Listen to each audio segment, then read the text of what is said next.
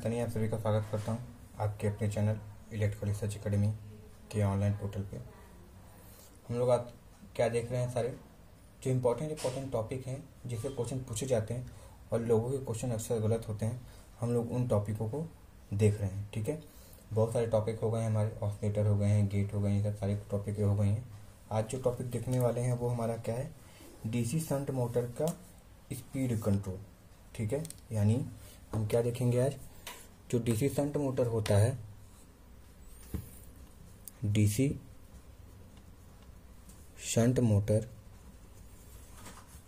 का speed control.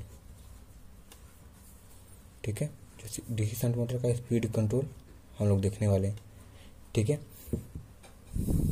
DC shunt motor को कैसे चाहे तो हम स्पीड को कंट्रोल कर सकते हैं। स्पीड कंट्रोल का मतलब यही कि कम स्पीड चाहे तो कम स्पीड पे काम करें और ज़्यादा स्पीड चाहे तो ज़्यादा स्पीड पर काम करें। ठीक है? तो इन सब चीज़ों को देखेंगे। तो सेशन को बाबू उसको लाइक कर देना शेयर कर देना और चैनल पर पहली बार हो गए तो सब्सक्राइब ज़रूर कर देना। ठीक है? चलो अगर इसके प्रकार की बात करें तो डीसी शंट मोटर को कंट्रोल करने के कई प्रकार है, जो उनमें से है। यानी डीसी शंट मोटर को मोटर को निम्न तीन प्रकार से कंट्रोल कर सकते हैं। कंट्रोल कर सकते हैं। ठीक है, यानी तीन प्रकार से हम चाहे तो कंट्रोल कर सकते हैं। ठीक है, speed motor DC shunt motor के स्पीड को। उसमें से पहला क्या है उसको देखेंगे, दूसरा क्या है उसको देखेंगे, और तीसरा क्या है उसको देखेंगे। पहला हमारा होता है आर्मेचर कंट्रोल मेथड। ठीक है? पहला क्या देखेंगे? आर्मेचर कंट्रोल मेथड देखेंगे। दूसरा, फ़ील्ड कंट्रोल मेथड।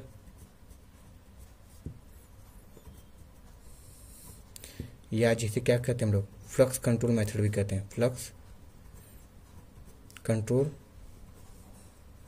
मेथड भी कहते हैं। और तीसरा जो है, उसको हम लोग बोलते हैं वार्ड, लियोनार्ड मेथड कहते हैं। ये तीन प्रकार के हम लोग पढ़ते हैं। ठीक है, मेनली तीन प्रकार होते हैं। डीसी सीरीज़ मोटर में चार प्रकार होते हैं, जो किसी और सेशन में उसके चौथा प्रकार हम लोग देखेंगे। ठीक है, अभी तीसरा प्रकार देख रहे हैं। तीसरा प्रकार क्या क्या है? तो उसमें पहला अगर नाम डालें तो पहले में आ जाएगा हमारा armature control method.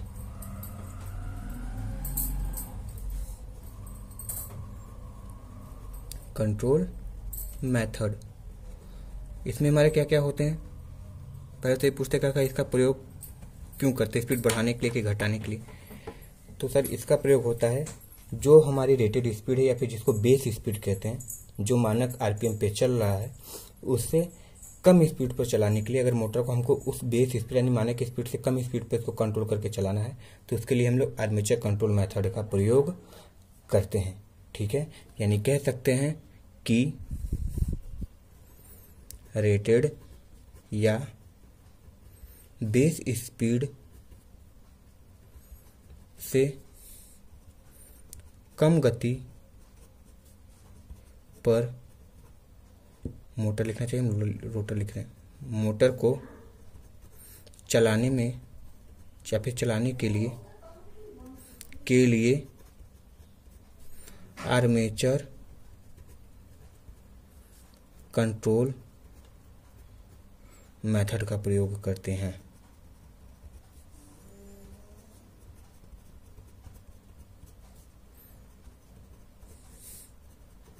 ठीक है? इसका प्रयोग करते हैं। सही है? आई होप यहाँ तक कोई दिक्कत नहीं होगा। चलो अच्छा आगे देखते हैं, आगे की कहानी क्या है? देखो, हम एक चीज़ जानते हैं कि जो हमारा सप्लाई वोल्टेज होता है, इसको याद रखना, रखे रहोगे तभी आगे कहानी समझ पाओगे। कि जो हमारा सप्लाई वोल्टेज होता है जो मोटर को हम सप्लाई वोल्टेज देते हैं, वो हमेशा उसमें उत्पन्न बैक ईएमएफ और आर्मेचर में हुए वोल्टेज ड्रॉप के जोड़ के बराबर होता है। यानी बैक ईएमएफ और आर्मेचर में वोल्टेज ड्रॉप को अगर जोड़ दे तो हमारा सप्लाई वोल्टेज का हमेशा बराबर आता है। तो ये बहुत ज़्यादा इंपॉर्टेंट है, इसको याद रखना। ठीक है? इसी पे हम आगे आगे आपको सवाल लगाएँगे। ठीक है? यही होता है। ठीक है? तो अगर हम लिखना चाहें भी बराबर सॉरी एन बराबर क्या होता है? ठीक है तो एन बराबर हमारा हो जाएगा। अच्छा ई बी माइनस होता है ना? ठीक है, ये, इसको लिखते हैं। ठीक है इतना लिखना पड़ता है। माइनस लगेगा ना? क्योंकि जब ई बी निकालोगे तो फिर भी प्लस आई ए आर ए हो जाता है। ठीक है, यहाँ पे प्लस ही रहने देते हैं। फिर जब यहाँ से ई बी निकालते हैं तो ई बी बराबर हमारा होता है भी माइनस आई ए आर ए। ये सही होता है। इन दोनों को याद रखे रहना। ठीक है ठीक है ना? चलो, इतनी कहानी हो गई। और एक हम एक चीज़ और जानते हैं कि जो ई बी एन होता है, यानी जो हमारी स्पीड होती है आरपीएम होती है, वो बैक एम के समानुपाती और फ्लक्स के, यानी जो फ़ील्ड का फ्लक्स होता है, उसके विध क्रमानुपाती होता है। तो इसको लिखना चाहें तो क्या लिख सकते हैं? तो सर, इसको हम लिख सकते हैं। ई बी की जगह सर भी minus I A R A upon five अब जो दोनों स्पीड कंट्रोल पढ़ेंगे फ्लक्स और आर्मेचर इसी फॉर्मूले पे रखकर तुलना करके हम लोग पढ़ेंगे। ठीक है? तो देखो आर्मेचर कंट्रोल मतलब हमको क्या करना पड़ेगा? आर्मेचर का गला पकड़ना पड़ेगा। ठीक है? किसका गला पकड़ेंगे? आर्मेचर का गला पकड़ेंगे, अभी फ़ील्ड को छूना भी नहीं है। तो देखो, अगर डायग्राम बनाए तो क्या करना पड़ेगा हमको? तो सर, हमको करना कुछ नहीं, बस यही करना पड़ेगा। क्योंकि चूँकि शंट मोटर को कंट्रोल कर रहे हैं तो हम लोग पहले एक शंट मोटर बना लेते हैं।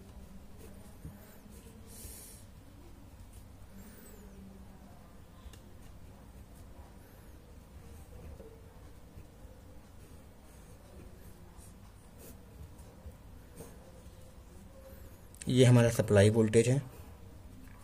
यहाँ पे हमारा ई बी निकल रहा है आर्मेचर से। ये हमारा आर ए है और यहाँ पे हम लोग क्या लगा देते हैं? वेरिएबल प्रतिरोध लगा देते हैं। इसको आर एस एच कहते हैं। ठीक है, यहाँ से आई धारा निकल रही है। यहाँ इसमें धारा आई एस एच चली जाएगी और यहाँ पे जो आएगी हमारी आई ए आएगी। इतनी कहानी ये हो गई। चलो, अब देखो क्या करते हैं। अगर हम आर्मेचर में परिवर्तित प्रतिरोध लगा के, जो कि आर्मेचर के साथ श्रेणी में जुड़ा हुआ है। तो हम जैसे जैसे आर्मेचर प्रतिरोध का मान बढ़ाएँगे, देखो आर्मेचर प्रतिरोध का मान बढ़ाएँगे, यानी आर ए का मान बढ़ाएँगे तो ओवरऑल जो इसका वोल्टेज ड्रॉप है वो क्या हो जाएगा? बढ़ जाएगा, क्योंकि प्रतिरोध ज़्यादा होता है तो विभव पात ज़्यादा होता है, इसको याद रखना। तो जब विभव पात ज़्यादा होगा, ध्यान समझना, जब विभव पात ज़्यादा होगा ठीक है? ये ज़्यादा होने के बाद और आगे माइनस का साइन लगाए। यानी ज़्यादा पे अगर माइनस साइन होता है तो ये वैल्यू कम हो जाती है। ठीक है? देखो माइनस लगा, अगर प्लस लगा होता है तो ज़्यादा होने पे ज़्यादा हो जाता। मगर ज़्यादा के सामने ये माइनस साइन लगा हुआ है तो जो स्पीड है हमारी, क्या हो जाएगी? कम हो जाएगी। क्या हो जाएगा? कम हो जाएगा। इसलिए बोलते हैं कि आर्मेचर कंट्रोल से कंट्रोल से स्पीड कम होती है। क्या होती है? स्पीड कम होती है। इसको नोट करके लिख लेना। ठीक है, हमेशा स्पीड क्या होती है? कम होती है। सही है? ये हमारी थी आर्मेचर कंट्रोल मेथड था। इसको याद रखना, हमेशा स्पीड कम होती है। बेस स्पीड से कम होती है। इसमें एक सवाल और पूछता है, और वो इंपॉर्टेंट क्या है? कि इसका, कि इसमें कांस्टेंट टॉर्क कांस्टेंट टॉर्क तथा वेरिएबल कांस्टेंट टॉर्क तथा वेरिएबल पावर प्राप्त होता है। ठीक है? यानी जो टॉर्क होता है वो कांस्टेंट होता है और जो पावर होता है वो क्या होता है? वेरिएबल यानी परिवर्ती होता है, प्राप्त होता है। ठीक है? तो आर्मेचर कंट्रोल आई होप समझ में आ गया कि आर्मेचर में प्रतिरोध जोड़ो। ठीक है आर्मेचर प्रतिरोध का मान बढ़ाओगे तो वोल्टेज ड्रॉप बढ़ेगा और वोल्टेज ड्रॉप बढ़ेगा हमारा तो क्या हो जाएगा? ओवरऑल स्पीड क्या हो जाएगी? कम हो जाएगी। ठीक है? तो ये हमारी कहानी थी किसकी? सर ये हमारी कहानी थी क्या बोलते हैं इसको? आर्मेचर कंट्रोल मेथड की। अब दूसरी बात आती है हमारी sir ji field control method क्या होता है? तो सर फ़ील्ड कंट्रोल मेथड में एक चीज़ होता है, दूसरा पॉइंट है देन दूसरा टाइप फ़ील्ड कंट्रोल मेथड ठीक है? चलो, अब देखो फ़ील्ड कंट्रोल मेथड क्या होता है? तो इसको याद रखना है। इसमें तो क्वेश्चन पूछे जाते हैं, इसलिए बताया जा रहा है, ठीक है? इंपॉर्टेंट टॉपिक है। तो देखो, इसमें क्या होता है? रेटेड स्पीड रेटेड या बेस स्पीड से से अधिक अधिक गति पर मोटर चलाने के लिए, मोटर को चलाने के लिए के लिए फ़ील्ड कंट्रोल या फिर फ्लक्स कंट्रोल भी बोलते हैं। फ़ील्ड कंट्रोल मेथड का प्रयोग करते हैं। ठीक है, क्या करते हैं? प्रयोग करते हैं। आई होप इतना चीज़ दिख रहा होगा और समझ में आ रहा होगा। देखो तो इसमें क्या करते हैं? यहाँ पर भी वही चीज़ लिखेंगे कि तुमको साफ़ साफ़ दिख रहा होगा। यहाँ पे ई बी है, बटे फाई है। ठीक है? यानी किसी तरह अगर हम फ़ील्ड फ्लक्स के मान को कम कर दे तो हमारी स्पीड क्या हो जाएगी? बढ़ जाएगी। यही होगा ना? फ़ील्ड फ्लक्स के मान को कम कर दें तो हमारी स्पीड क्या हो जाएगी? बढ़ जाएगी। क्योंकि एक तो घटा रहा था तो दूसरा बढ़ाना भी चाहिए। तो देखो, ये बढ़ेगा कैसे उसलिए डायग्राम देखो। फिर वही शंट बनाएँगे, क्योंकि शंट मोटर को ही कंट्रोल कर रहे हैं।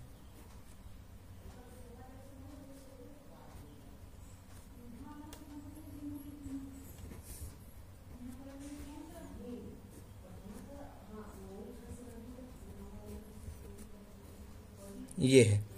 अब देखो, अब यहाँ पे क्या कर रहे हैं हम? ये प्रतिरोध जोड़ दिए, यहाँ पे क्या लगा दिए? वेरिएबल प्रतिरोध लगा दिए। ठीक है? अच्छा ये हमारा क्या है? आर्मेचर है, यहाँ पे ई बी है, यहाँ पे ये आर ए है, यहाँ से बहने वाली धारा का मान आई ए होगा, इसमें आई ए हो गया, इसमें क्या हो जाएगा? आई एस एच हो गया। ठीक है? अच्छा हमको एक चीज़ बहुत अच्छे से याद है कि धारा बढ़ने पर फ्लक्स भी बढ़ता है। ठीक है? धारा बढ़ने पे फ्लक्स बढ़ता है। तो ये बताओगे इसमें हम प्रतिरोध जोड़ रहे हैं शंट में, आई आर एस एच है। अगर शंट में बाह्य प्रतिरोध हम कुछ न कुछ जोड़ रहे हैं, ये वाला जोड़ रहे हैं तो हमारा ओवरऑल क्या हो जाएगा? प्रतिरोध का मान बढ़ जाएगा। ठीक है? तो ओवरऑल इस शाखा में, यानी शंट वाली शाखा में प्रतिरोध का मान बढ़ जाएगा। और प्रतिरोध का मान बढ़ेगा तो इस शंट के मान क्या हो जाएगा? यानी जो शंट वाला करंट उसका मान घट जाएगा। और जब शंट वाले प्रतिरोध का मान शंट वाले धारा का मान घटेगा यानी धारा का मान कटेगा तो फ्लक्स का भी मान क्या हो जाएगा? कम हो जाएगा। यानी कह सकते हैं हम कि फ़ील्ड वाले को लिख रहे हैं। I F L F I S H लिखते ना या इसको आई एस एच लिखते हैं। आई एस एच का मान कम करके हम चाहें तो फ्लक्स का मान कम कर सकते हैं। और अगर फ्लक्स का मान कम होगा तो स्पीड क्या हो जाएगी? हमारी बढ़ जाएगी। ठीक है? इसलिए क्या करता है हमारा? एबव बेस स्पीड हमेशा देता है। ठीक है? यानी क्या नोट निकला यहाँ से? दो पॉइंट कि sir flux control flux control से स्पीड में वृद्धि लिखते हैं ना? वृद्धि होती है। ठीक है? अगला, इसमें इसमें लिख लिखते टेढ़ा हो जा रहा है, देख लो। इसमें वेरिएबल टॉर्क यानी परिवर्ती टार्क तथा कांस्टेंट पावर प्राप्त होता है। पावर प्राप्त होता है। ठीक है? इस चीज़ को याद रखना बहुत इंपॉर्टेंट है। तो हमारे दो चीज़ क्या हो गए? क्लियर हो गए। ठीक है? यानी इसको चाहो तो देखो ये था हमारा फ़ील्ड कंट्रोल मेथड ये आर्मेचर कंट्रोल मेथड ये उसके टाइप है, ये सारी कहानी दी हुई है, ठीक है? किसी वीडियो में हम लोग क्या करेंगे? डीसी सीरीज़ मोटर को भी कवर कर लेंगे, ठीक है? तो इस चीज़ को याद रखना, इसको भूलना मत और बाबू, एक चीज़ और नहीं भूलना है कि सेशन को लाइक शेयर और और चैनल को सब्सक्राइब भी करना है, ठीक है? चलो, अब एक इंपॉर्टेंट और लास्ट हमारा क्या है? सर वॉर्डली नॉट अच्छा इन तीनों का प्रयोग केवल और केवल सेंट में करना है सीरीज़ में नहीं करते हैं, ठीक है? तो तीसरा हमारा क्या है सर वॉर्ड लियोनॉर्ड मेथड तीसरा क्या है? सर तीसरा है हमारा।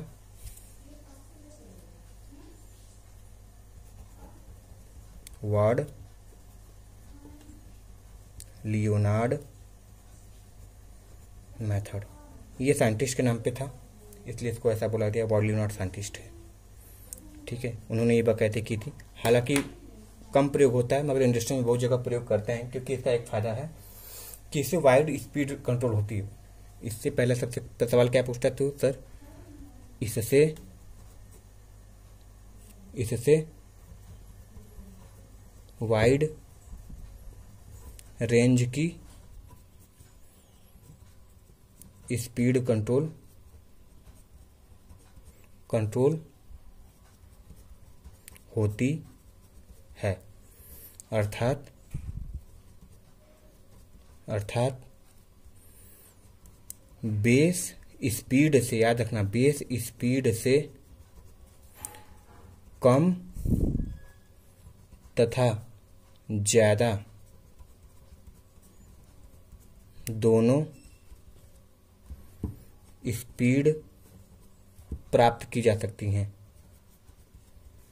प्राप्त की जा सकती है। इसलिए बोलते हैं कि वाइड रेंज का स्पीड कंट्रोल देता है, क्योंकि ये खासियत होती है इसमें, ठीक है?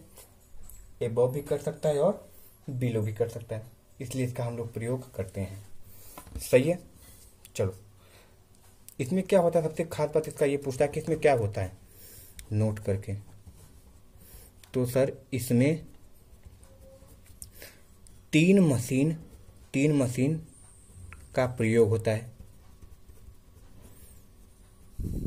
होता है। जिससे ये क्या हो जाता है? जिससे सर ये सिस्टम जिससे यह विधि लिख देते हैं, यह विधि कॉस्टली हो जाती है, यानी महँगी हो जाती है। कॉस्टली दूसरा बल्कि हो जाती है, यानी भारी हो जाती है। और तीसरा, क्या हो जाएगी? लॉस भी तो ज़्यादा होगा, ठीक है? तीन तीन खामियाँ इसमें होने लगती है। सही है? देखो, अब वो तीन मशीन कौन कौन से हैं? क्योंकि क्वेश्चन पूछता है तीन मशीन के नाम, ठीक है? तो तीन मशीन के नाम हमारे कौन कौन से हैं? तो सर पहला है three phase induction motor motor दूसरा डीसी जनरेटर ठीक है? डीसी जनरेटर तीसरा, किसको कंट्रोल करना है? शंट मोटर को ना? तो क्या लगाएँगे? DC shunt motor. ये तीन होते हैं। ठीक है? देखो एक्चुअली काम कैसे करता है इसका डायग्राम देख लो, छोटा सा बना देते हैं। सर ये हमारा आर वाई बी है। एक हमारी मोटर बना देते हैं। एक मोटर है हमारा जो क्या है? तीन फ़ेज़ का है। इसको सप्लाई दे देते हैं। पहला यहाँ से उठा के ये देते हैं। फिर दूसरा उठा के ये देते हैं, फिर तीसरा उठा के ये देते हैं। करते क्या है? ये इसका जो साफ्ट निकलता है, इसका जो साफ्ट निकलता है, कपलर द्वारा क्या कर देते हैं? एक डीसी जनरेटर से सेट कर देते हैं। डीसी जनरेटर से कपल कर देते हैं। ठीक है? अब यहाँ से जो सप्लाई निकलता है, यहाँ से जो सप्लाई निकलेगा, डीसी सप्लाई, निकलेगा ना डीसी सप्लाई? इसको क्या कर देते हैं हम लोग? एक जो फ़ील्ड वाइंडिंग होती है हमारी मोटर की मोटर की फ़ील्ड वाइंडिंग होगी ना, जिसको क्या बोलते हैं हम लोग? आर एस एच यही फ़ील्ड वाइंडिंग होती है ना? और एक हमारी क्या होती है? आर्मेचर होती है। ठीक है? आर्मेचर होती है। ये होती है। ये हमारा क्या है? डीसी शंट है। ठीक है? अब देखो होता क्या है? अगर हम सप्लाई से तीन फ़ेज़ को कम ज़्यादा करेंगे, ठीक है? ध्यान समझना। अगर हम थ्री फ़ेज़ सप्लाई से अगर इसके स्पीड को थ्री फ़ेज़ इंडक्शन मोटर की स्पीड को कम ज़्यादा करेंगे तो हमारे डीसी जनरेटर की स्पीड भी क्या होगी? कम ज़्यादा होगी, क्योंकि इसका साफ्ट और उसका साफ्ट जुड़े हुए हैं। और जब डीसी जनरेटर का आरपीएम कम ज़्यादा होगा तो सप्लाई वोल्टेज जो आउटपुट में दे रहा है, वो भी कम होगा। होगा कि नहीं? सर, कम ज़्यादा होगा। और जब ये कम ज़्यादा होगा तो ये जो हम लोग एक्साइटेशन लगाए हैं, जो एक्साइटेशन हो रहा है, जो हमारी फ़ील्ड वाइंडिंग है शंट मोटर की, वो भी इसी वोल्टेज से एक्साइट हो रही है एक्साइट मतलब उत्तेजित हो रही है। तो ये भी क्या होगा उत्तेजन भी क्या हो जाएगी? कम ज़्यादा होगी क्योंकि इसका सप्लाई टर्मिनल जो आउटपुट है वो भी कम ज़्यादा हो रहा है क्योंकि यह डीसी जनरेटर से जुड़ा हुआ है और इसकी जो आरपीएम है वे भी कम ज़्यादा हो रही है। तो इसकी कम ज़्यादा होने से ये कम ज़्यादा होगा, ये कम ज़्यादा होने से इसकी फ़ील्ड वाइंडिंग का जो एक्साइटेशन है वो कम ज़्यादा होगा। और जब एक्साइटेशन कम ज़्यादा होगा तो डीसी शंट मोटर की स्पीड भी क्या होगी? कम ज़्यादा होगी, ठीक है? यानी स्पीड कम और ज़्यादा, ये सबसे इंपॉर्टेंट है। कम और ज़्यादा दोनों हो सकती है, ठीक है? कम और ज़्यादा दोनों हो सकती है, इस कंट्रोल से। इसलिए इसको बोलते हैं कि इसको बेस इसको क्या बोलते हैं? वाइड रेंज की स्पीड कंट्रोल बोलते हैं, क्योंकि इससे चाहो तो ज़्यादा कर सकते हो और चाहो तो कम भी कर सकते हो, ठीक है? ये कहानी इसकी थी। सही है? चलो तो ये हमारी वॉडली नोट मैथड थी। इससे ज़्यादा कुछ नहीं पूछता है। चलो, एक चीज़ और ग्राफ जब बनाते हैं, जब ग्राफ बनाते हैं तो एक चीज़ देखते हैं हमारा। ये ग्राफ आखिरी है, ठीक है? ये हमारा हो जाएगा टॉर्क और पावर। यहाँ पे हमारी होती है क्या? सर, बेस स्पीड होती है। क्या होती है, सर? बेस स्पीड होती है। इसको बोलते हैं बेस स्पीड। ये क्या है? Low speed. यानी इधर क्या होती है? लो स्पीड और इधर क्या होती है? High speed. ठीक है? High speed. तो इसके लिए कौन सा विधि प्रयोग किए थे? आर्मेचर कंट्रोल मेथड प्रयोग किए थे और इधर फ़ील्ड कंट्रोल मेथड की प्रयोग किए थे। ठीक है? तो हम आपको बताए थे कि जब आर्मेचर कंट्रोल मेथड होता है तो हमारा कुछ इस तरीके से डायग्राम बनता है। यानी पावर वेरिएबल होता है और जब हाई स्पीड होता है, यानी फ़ील्ड फ्लक्स में तो यहाँ पावर कांस्टेंट हो जाता है। यहाँ पे बात होती है टॉर्क की। ऐसे। तो यहाँ पे टॉर्क नियत होता है और यहाँ पे टॉर्क परिवर्ती होता है। तो कुछ इस तरीके से ग्राफ बन के सामने आता है। ठीक है? तो ये जो अक्ष बनता है वो टॉर्क पावर का होता है और ये वाला जो अक्ष होता है हमारी स्पीड का होता है। अच्छा ये तो हमारी एक पहली विधि थी, ये हमारी दूसरी विधि थी। जो तीसरी विधि होती है हमारी, इन तीनों के रेंज के अंदर, अंतर्गत आती है, इन तीनों के रेंज के अंतर्गत, क्योंकि लो भी करता है हाई भी करता है मीडियम भी करता है, जो कि ये तो इसमें लिख चुके हैं। तो इसको बोलते हैं वॉर्ड लियोनार्ड मेथड इसलिए बोलते हैं कि सबसे बेस्ट है, मगर ये क्या है? यही सबका झाम फंस जाता है, ठीक है? तो I hope word live not भी समझ में आ गया होगा। तो अगर बाबू ये चैप्टर समझ में आया, यानी सेशन या फिर ये टॉपिक समझ में आया तो सेशन को लाइक कर दो शेयर कर दो और चैनल पे पहली बार हो तो सब्सक्राइब कर दो। ठीक है? मिलते हैं नेक्स्ट वीडियो में, तब तक लिए thank you very much and all the very best